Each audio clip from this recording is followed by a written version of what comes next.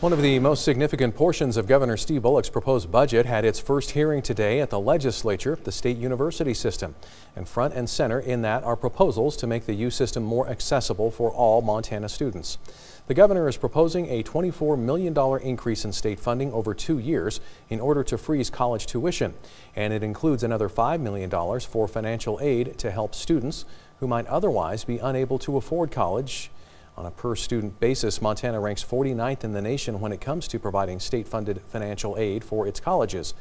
Montana State University President Waded Cruzado told a legislative budget panel about a scholarship program MSU would like to expand aimed at kids from working class families. It's named after MSU graduate Maurice Hilleman, who went on to develop vaccines that helped save millions of lives.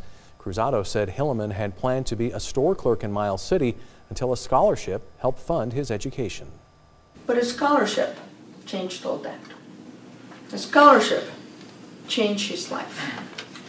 And that scholarship, I want to believe, was more than just dollars.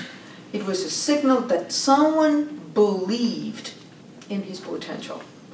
With that little bit of help, this ordinary son of Montana went on to an extraordinary career that improved all our lives. A House Senate budget panel will vote later on the U Systems budget.